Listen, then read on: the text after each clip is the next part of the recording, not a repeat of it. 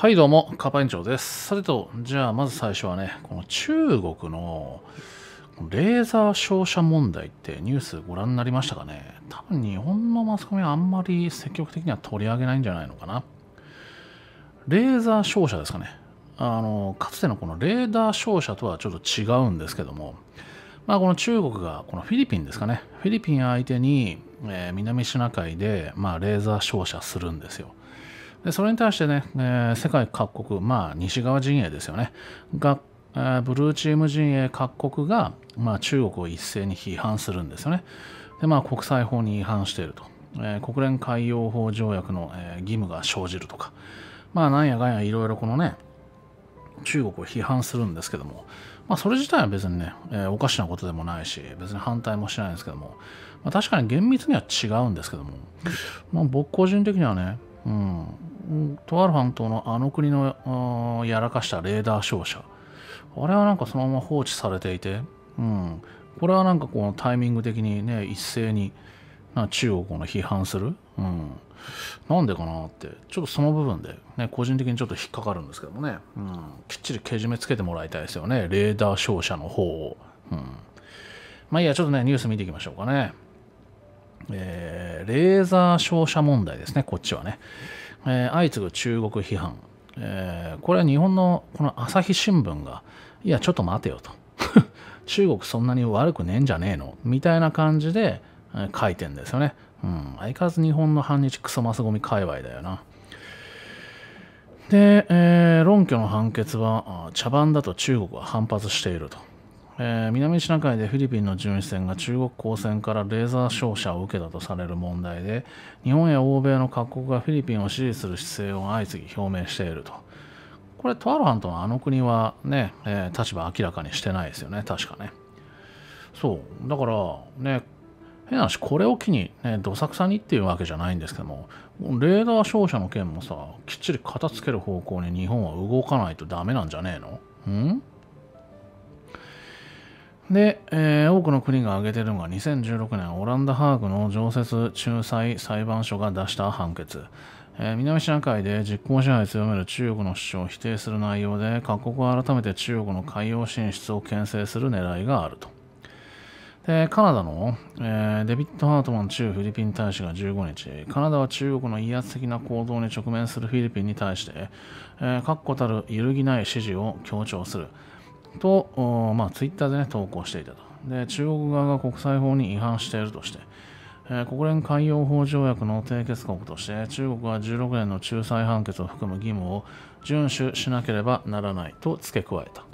まあ、守るわけがないですよね、そもそもね。で、仲裁判決はフィリピン政府が常設仲裁裁判所に提訴した裁判で出された、えー九段線と呼ばれる境界線を示し、南シナ海のほぼ全域に管轄権があると主張する中国に対して、えフィリピンが13年に国際法違反だとして提訴、え裁判所は中国の主張法的根拠はないと否定する判決を出したが、あ中国は受け入れてないんですよね。うん、だからこれ無法者国家のさ、ね、とある半島のあの国なんかもそうですけども、なんかこのリズムで、ね、このなんか説明、まあ、こんこんと解いたところで聞き入れるわけがないんだから、ね、もう物理的にどんどん制裁、ね、どんどんかけて締め上げていくしかないと思うんだけどね。で日本はもうそこだけ、そこだけあの確実に毎回必ず抜け落ちてるんで、ほざくだけでさ、最近ほざきもしねえか。うん。だから結局ね、とある半島のあのレーダー照射の件だって、相変わらずそのまんまじゃん。うん。もうこの時点でもう日本政府とかもうねこのなんだろうな政治家連中も官僚とか役人の連中もさ全く信用できねえよな。何の信頼も信用もねえよ、うん、仕事しねえんだからさ、うん、まずこの明らかにしてないもんね、うん、ね結局どういう経緯でどういうことが起きたっていうところまでで。じゃあそこでなんでね、うん、あのとある半島のあの国のやつらにね、謝罪だなんだっていうところまで詰められねえのか。ね、だって状況説明、ね、どういう状況だったかっていうのは、ね、当時この防衛省が、ね、明らかにしてくれたじゃないですか。わざわざ映像も用意して。うん。もうねいろ、いろ納得いかねえよな。うん。だからやっぱり所詮はねつぼられっぱつぼられっぱなしの反日社会なんじゃねえのかよっていうそこだよな。うん、で,、えー、でこの今回のこのレーザー照射他にもあるんだよね。これハワイでもなんか似た似たようなではないけど。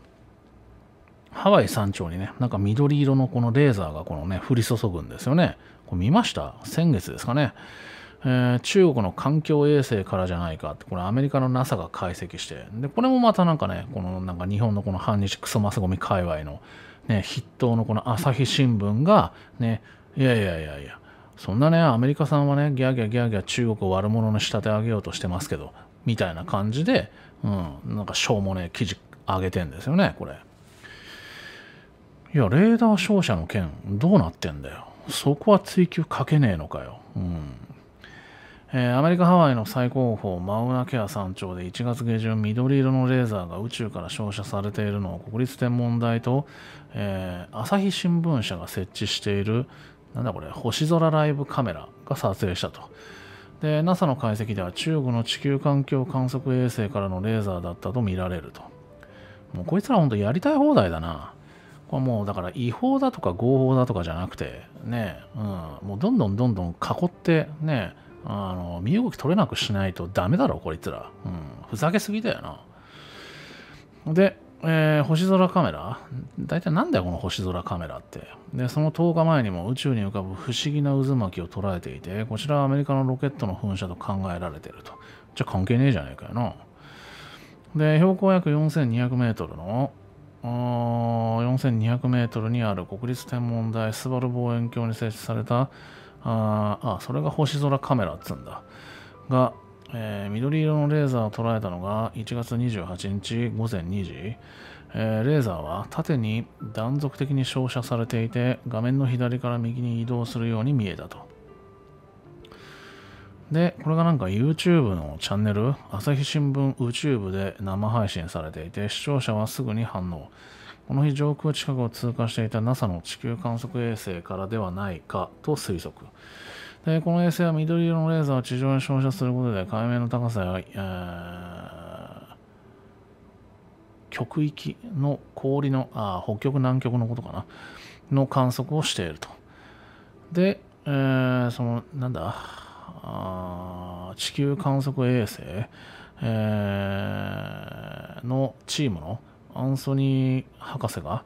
自分たちの衛星が話題になっていることに気づいたが一つ謎がある。衛星がハワイ島の上空を通過した時刻とレーザーが撮影された時刻におよそ1時間半のズレがあった。これは衛星が地球を一周する時間に相当する大きな差だと。だからまあちょっと違うと考えられると。うん。まあなんかね、まあ今回のこの中国の件、ね、世界が、えー、どう追いどう問い詰めてそこまで問い詰めきらないのかな？なんかわかんないですけども。我々日本としてはね、とある半島のあの国の奴らのやらかしたレーダー照射、こっちこそなんとかしろよって思いますけど、ようやんねんだろうな。なんだろうね、これ。ずーっとこの気持ち悪い状態、このそのまま放置されてるんだけど。うん。ということでね、えー、今回以上です。ありがとうございました。ではまたごきげんよう。